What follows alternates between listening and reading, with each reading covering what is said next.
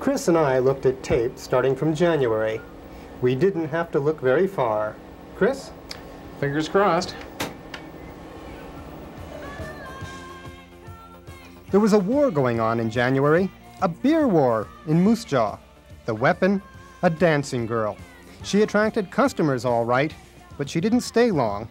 The liquor board stepped in and said, We'll have none of that kind of behavior in a place where alcohol is being served. One of the big mysteries of the year was the pole on 12th Avenue. It didn't appear to do anything.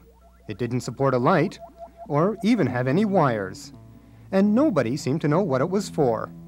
No idea what it does. We figure it may have been planted there by some aliens or something. well, it was probably an initial grant for uh, 50 style sculpture, which sort of failed, I think. I have no idea. You guys don't have any idea either, have you? We found out it did have a purpose. A photo cell turned on the lights in Victoria Park. But the city's since taken it down. Marie Antoinette supposedly said, let them eat cake. Well, we said, let Bryce Eckstein eat pie.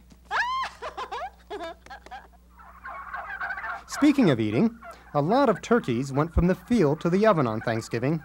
And if they had no idea what was happening, a lot of us didn't know why it was happening. It was about uh, where Jesus had um, his last supper. His last supper, yeah, his last supper, and they watched his feet or something like that. Then he was put into the cross, and that's how he got the first Thanksgiving. When Mayor Schneider said he was going to ride through Burke's, we said bull, and we were right.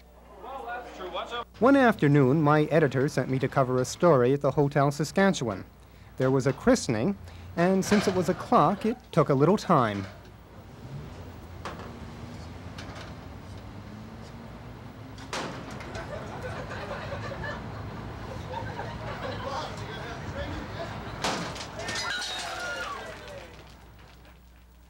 Well, Chris, I think that about covers this year's Lighter Moments. Did we forget anything? Well, I didn't, but uh, I think you did. I think you're right. Mm-hmm.